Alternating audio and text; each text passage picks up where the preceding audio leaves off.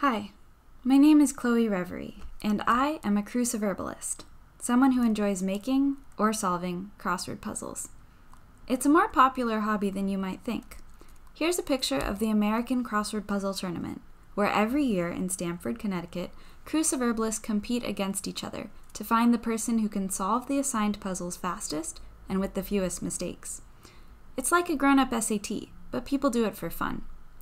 I'd really like to compete, but the truth is I'm not that good at solving puzzles. But I can code. And thus was born an idea. I would write an algorithm that solves crossword puzzles. But where to even begin? Luckily, as a cruciverbalist, I knew some secrets of the trade that could help me in my quest. For starters, crossword constructors are notorious plagiarists. In 2016, a programmer named Saul Pwanson discovered widespread plagiarism in the crossword community, including several instances of direct plagiarism of clues, themes, and grid layouts. But there was also unintentional plagiarism. Because of the structure of the English language, constructors often find themselves relying heavily on certain words.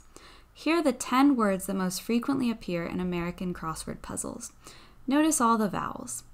Now, not only do these words appear all the time, but they often appear with the exact same clues. For example, the clue Erie has appeared in crosswords thousands of times, but 20% of those times it appears with one of only five clues in this exact wording. It turns out constructors can be really lazy. And I wondered, how much of a crossword puzzle could I solve simply by cross referencing its clues with a historical clue database? I decided to write an algorithm to find out. Just like a human solver, the algorithm needs two pieces of input to do its work the grid layout and the clues. And because there's no standard way to represent a puzzle programmatically, we get to represent this data however we want. Since the data to represent a grid layout looks very different from the data that represents the clues, I settled on two separate file formats. In the grid file, the first line is the puzzle dimensions. For readability, the rest of the file simply visually translates the puzzle, with hashes for black squares and periods for blank ones. When it's finished, the puzzle should look like this. The clues are a text file where the first two numbers are the XY position of the clue in the grid.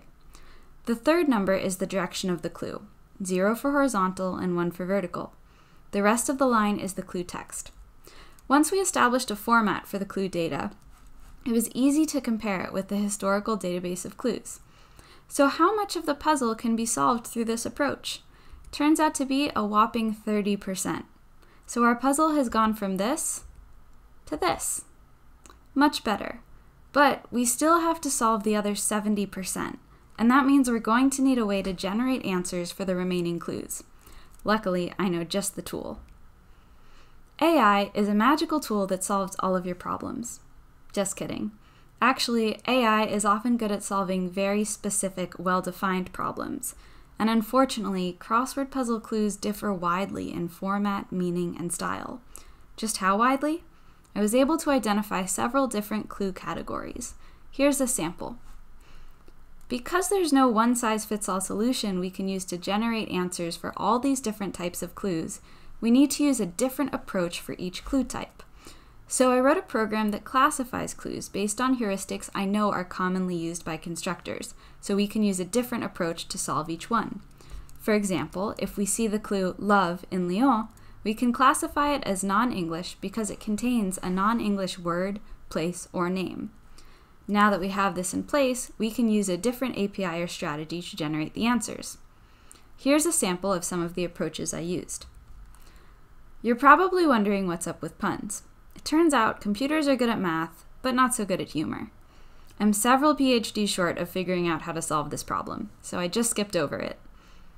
Now that we've generated possible answers for every clue, we can use what we already know to winnow down our answer set. So imagine that we have these possible answers for these clues of this length. First, we can remove all the answers that aren't the exact right length for the clue. So goodbye Serena, which is not five characters. Next, we discard the answers that don't fit with the 30% of the grid we already know. Let's imagine that that disqualifies bake. So now we have a much narrower set of answers to play with. And to get the solution to the puzzle, all we need to do is mash together every possible answer with every other possible answer until we get a grid that works. There's just one problem with that. Even a small crossword turns out to be pretty big, and there are just too many combinations to efficiently brute force this problem. Luckily, people who are really good at math have been working on this problem for decades. They've even given it a name. Boolean satisfiability problem. This is a class of problems in which the goal is to find an assignment for a large number of variables, such that an overall formula evaluates to true. The formula can be as simple as x and y equals true. The satisfiability problem in this case is to find Boolean values, true or false, for x and y that make the equation true. Once you express a problem as a Boolean equation, you can run it through a SAT solver for satisfiability, an algorithm designed to solve this class of problems. So how can we turn our partially filled grid and our set of possible answers into a Boolean equation? We start by imagining that each square in the crossword puzzle is its own variable. Since we've already generated a list of possible values for every square, we have a starting set of possible values for each variable. For example, if we know that 1 across is either bead or drop, square x1 must contain either d or b. So now we can write a Boolean equation that represents all the possible values for 1 across like this. This statement says that 1 across must be either bead or drop.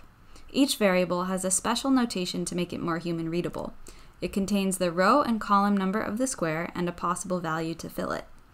If we feed this expression into a SAT solver algorithm, such as zChaff, it will output something like this telling us that the solution to the puzzle for one across is bead. When I applied this formula to the entire puzzle and ran it through the SAT solver algorithm, bam, I got a pretty filled puzzle. It's not perfect, but it's pretty good for an unthinking machine. I call it the Gridler. But the Gridler is still trapped inside my computer, unable to manifest in the physical world and compete against people. So to bring it to life, I called in a friend. The pen plotter. Before there was the toner printer, people used these plotters to draw detailed designs on paper. It's essentially a programmable robotic arm with a pen attached. Nowadays, the business world has moved on, but I happened to have access to a fashionably vintage pen plotter from the 80s. I realized I could use it to transcribe the filled puzzle onto paper after the algorithm solved it. The only problem? This plotter uses a domain specific language called HPGL, Hewlett Packard Graphics Language. It's not much fun. Here's the HPGL to draw a single line across the page. We initialize, select pen 1 from the repository, move it to position absolute 9090 in the upper left of the page, put the pen down to start drawing, move the pen to position absolute 9900 at the right side of the page, pick the pen up to stop drawing, and finally put the pen back in the repository. Wow, that was terrible. To avoid writing any more HPGL than absolutely necessary, I wrote a Python library that converts puzzle files, blank, partially filled, or fully filled, to HPGL, and it turned out to be only marginally less terrible than the original HPGL. Here's a sample, how you write the letter S. So after spending an entire day relearning how to write the alphabet, I was finally able to put everything together. Here's a video of the Gridler at work. So the plotter has interpreted the grid format and is recreating it on the page, including the black squares. The pen plotter got tired at this point and had to nap, but once I woke it up again, it used that nifty library I wrote to fill in the letters too. So what's next for the Gridler? Well, the American Crossword Puzzle Tournament, where the Gridler will be competing remotely. Thank you for listening and take care.